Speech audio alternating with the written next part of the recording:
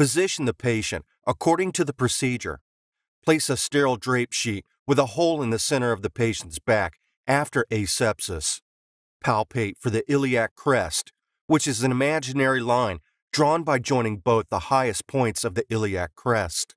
It is usually to the body of the fourth lumbar vertebrae. Identify the spinous process of L3, L4, and L5 and the interspaces using palpation. Disinfect the puncture site using povidone iodine or alcohol-based chlorhexidine and apply it in a centrifugal manner. Anesthetize the patient by injecting 1% xylocaine and spread gently.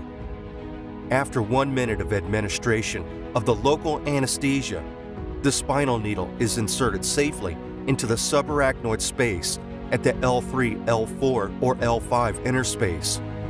The needle is advanced, slowly directing it in an upward direction towards the umbilicus. The needle is positioned towards flank to avoid cutting the dura fibers, which run parallel to spinal access. The needle is moved either in a stepwise manner with the removal of the stylet or by two consecutive giveaway, one after ligamentum flavum and other after the puncture of dura and arachnoid membrane.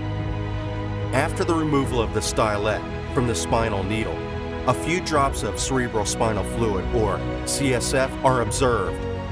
After that, discard the first three drops. Then, collect the CSF in the appropriate vials. The usual collected amount for an analysis is 8 to 15 ml of CSF. In some cases, such as cytological or culture study, higher volume is required. Gently press the insertion area and place a sterile covering.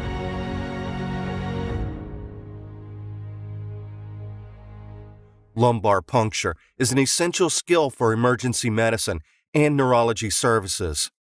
Henceforth, practitioners consider lumbar puncture as an ancillary procedure performed for a variety of reasons.